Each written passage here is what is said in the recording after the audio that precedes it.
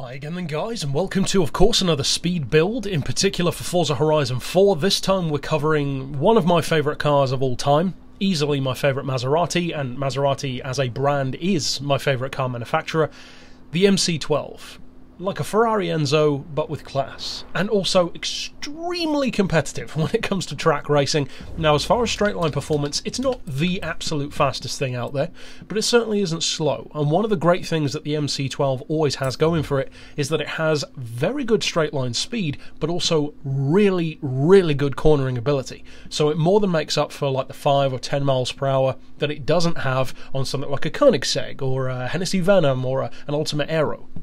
It's more of an all rounder, if you will, in a similar way to the Zonda Cinque and a couple of others too. Now, as far as performance, I said it's a bit slower, but it's no slouch. 0 to 60, 2 seconds. 0 to 100, 4 seconds. Flat out, 268, at least according to the benchmark. And of course, in just a second, we'll see how quickly it can actually go in a race.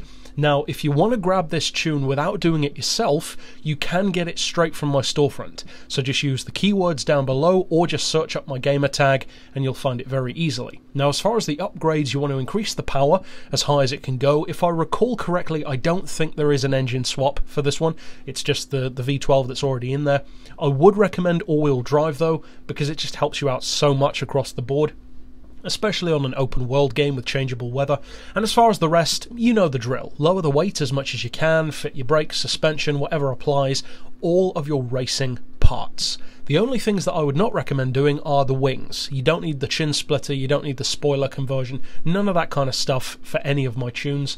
Now, as far as the gearbox, I'd recommend a final drive of 4.3, then for the individual gears themselves, 2.9, 2, 1.5, 1.18, 0.95, and 0.77. So a very, very simple, very familiar setup that a lot of my cars like this will use because it's just an effective one. We've got neutral camber and toe. Of course, that is in particular because it has all-wheel drive. We've got the high caster angle. You could have it on 4 degrees or as low as possible, depends what you prefer. Personally, I like it on 7 for this one. Anti-roll I've got on 25 and 20, springs on 110, 175, and of course the lowest ride height front and rear. Dampers on 10, 15, 5 and 6. Aero funnily enough, cannot be adjusted, even though it has the massive integrated wing, but it's not an adjustable wing in a similar way to, say, a CLK GTR and that kind of thing.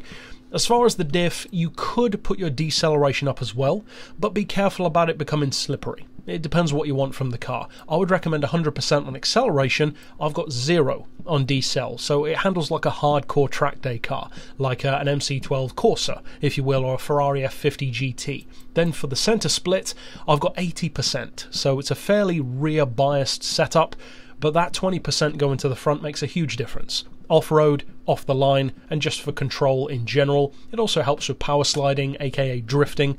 So, as I said, you can get the tune from my storefront, but what you want to see is how quick can it go in a race.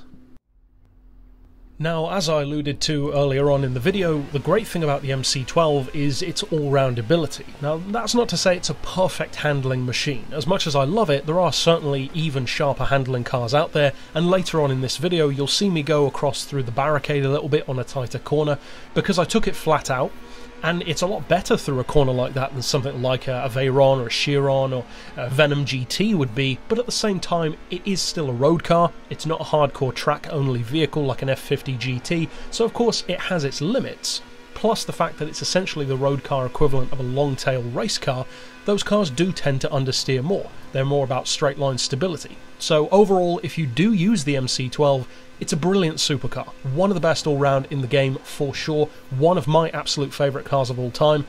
As far as the design goes, I think it might even be my favourite supercar, just purely based on the way it looks.